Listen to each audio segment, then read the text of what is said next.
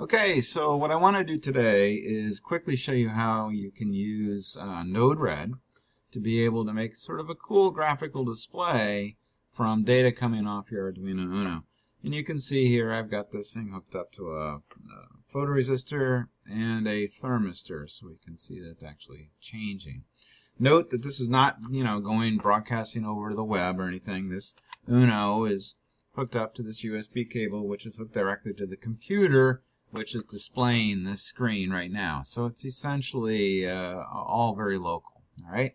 But it's still really cool, and we can build lots of cool stuff, and it's a great way to get started. So that being said, I think what I'm going to do is um, I'm actually going to start off by building an Arduino app that we can use. And I'm going to close all this down. Close all this down. We'll come back to it. And Get rid of that for the moment. Okay, so what we want is a simple Arduino app that's going to give us data that's comma separated that we can use in Node-RED. Excuse me. And I'm going to do it, I'm going to do this super fast and simple, all right? So we're going to go to basics, we're going to go to analog read serial, and uh, where did it go? Hold on a second file, examples, basics, analog read serial. There we go. Close that out. All right, so I've got two uh, variable resistance devices hooked up right here without any external electronics. So therefore, I'm going to have to use uh, input pull-up to run these devices. In other words, I'm going to make these two analog pins, I'm going to hook them to a resistor inside the chip that's going to essentially uh, flood them with electrons so if there's nothing hooked up to it and ask it if it's high or not, it's going to say yes, it's very high because there's a pile of electrons stacked up on the pin. But now I've given it a path to ground and the amount of electrons that are going to be available is going to be dependent on how many escape. So the resistance is low, then the value goes low because the electrons are escaping very quickly. If the resistance is really high, well then it's hard for them to escape, so it reads a high value. Okay? And this is super easy to enable on an Arduino. All you have to do is go to pin mode and set it to underscore pull up and that's going to charge that pin and connect that internal resistor. I want to do it with both of these devices because um, neither one of them have any external electronics. Okay. And then the other thing we want to do, oh, I should read both these devices. And this is really lousy coding. I apologize, but in the interest of time, I'm going to just take advantage of some of this pre-existing code. All right. And I want comma separated data, which means that I want it all on one line. So I'm going to get rid of those two new lines. And then I'm going to go right here, put a quote in there, and then put on our sensor value 1. And this is just crazy. I think I'm going to make this uh, once every second. Okay? So if I upload this, what we should get out of it is comma separated data. There we go. And if I put my finger on here, you can see the value goes up to almost 500. And squeeze this, and you'll see that number begin to drop 220, 214. Okay. So it's working great. So we have comma separated data. The things we need to memorize here for the moment or write down is this is going at 9600 baud. And this is hooked up to port 8 okay COM port 8 we're going to need that information to build our Node-RED display. So I also have to close this because I can't compete with an open port. So I'm going to close that out. And now what we want to do is we want to open, well, install Node-RED if you haven't yet. So do a search on Node-RED. We're going to go get started. Like I said, I'm running locally. On locally.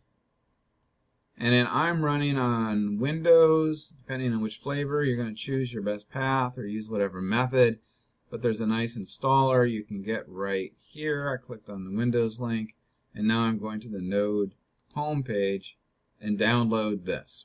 Okay, so I'm gonna, I've already done it, so I'm not going to do it again. Download and install it, obviously. And when you install it, it's not going to give you a new icon or anything. It's actually just going to install the software uh, in your system. And to get it going, at least initially, we can create a button and whatnot, but we're going to just go with command prompt. So I put in COM, command prompt came up. And now that I have the command prompt, I'm going to type in node-red.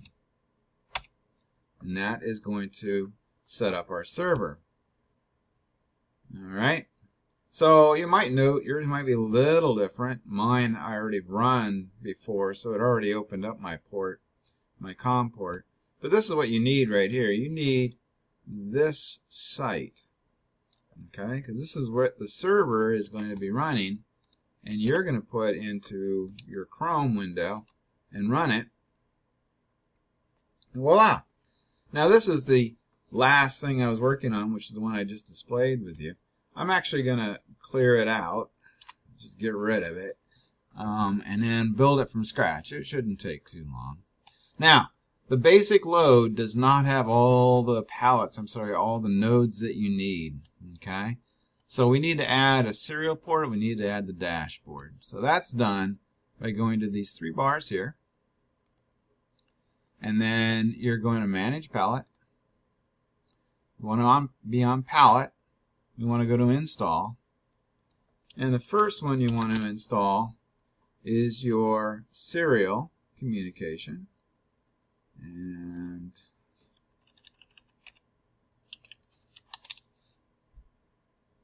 lowercase gives you a cleaner, easier access to it. Okay, so the one that you want to use is this Node-RED serial port. I've already installed it. You can see it's grayed out.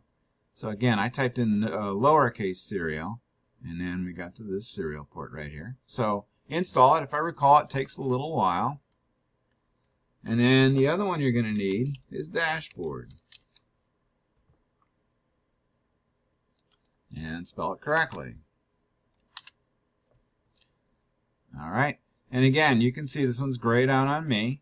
This is the one you want. Node-RED dashboard right there. Okay. Go ahead and install that. And when you do, what should happen is you'll get a couple of new nodes that you can use. Now, if they don't show up, you might have to close this down, uh, close this and restart it. Go back to command prompt, type in node-red, and then come back to this website, and it will be there. But you're looking for these serials, which weren't there originally, and this whole dashboard thing. Okay? So what I'm going to do now is I'm going to start, I need a serial in, for sure, that I'm going to be using. And then I'll go down to my dashboard. Let's we give lots of choices here. I'm going to throw a couple gauges up here, and we can manipulate those. But I'll get it started that way. And the other thing we're probably going to want is a little debugging. It's kind of nice to not have to launch all your software to see what's going on. So I'm going to put a couple of debugs in here. Okay, so we have numbers coming separated by a comma. Okay, and we need to parse that into two separate individual numbers. To do that, we're going to have to write a little function. So I'm going to grab a function, stick it there. Okay. So these are all the pieces that we need. Um, let's start. You can actually, it's cool. You can see you can link them together. Let's start by uh, working on our serial port. Now, there's a good chance yours is blank or it has some grayed out thing. You need to create that port. So go to that edit button. I, like I said, these are the important things here. COM8 and a 9600 baud.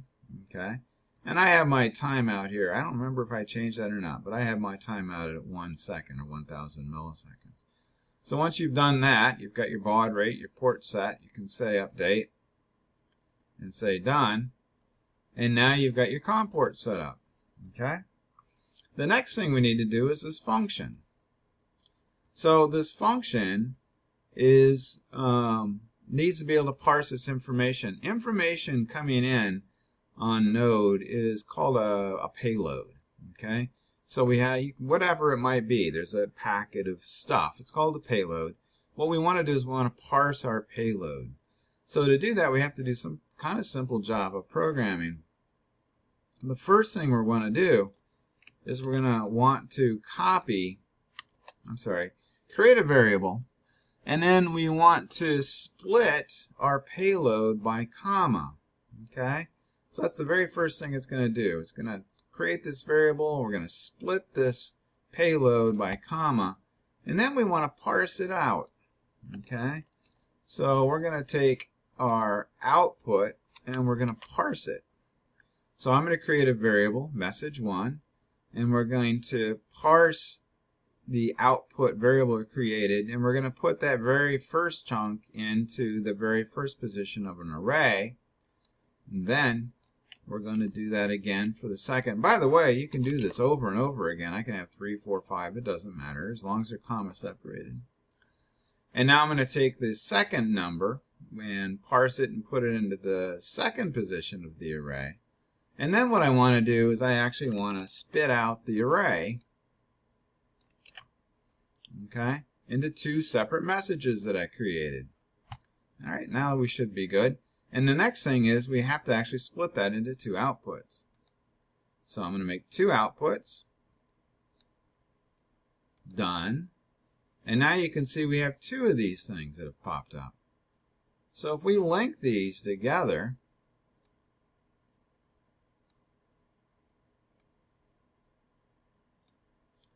we can deploy it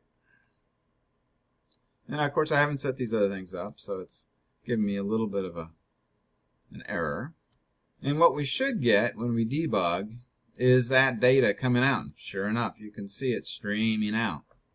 So let's actually go ahead and build our gauges next. So I'm going to double click this gauge. This is my first piece of information. That was my zero. That was the light. Okay. And I'll call this one light. And you might recall that when I first set it up, I was reading about 90, and it goes up to like 500. You can play with this. So I'm going to set it from 50 to 500. All right, and done. And now I'm going to run a wire from here to there. And then this one was our um, temp. And it actually start, went down. So the low, I'm sorry, the high value was about 250. I'll make it 300. And let's set the low value to 100. Of course, obviously you can play with all these things to get it work even better. And we'll hook that up like so. We're going to deploy it. Now we want to display that information. So I'm going to go to this arrow here. I'm going to click on Dashboard, and then I'm going to launch it. And if all is well, by gosh, by golly, it looks like everything is working. And we now have our very first really simple uh, Node-RED application going. Okay? So hopefully that was useful. And uh, I'll work on another one here, and I'll see you guys again soon.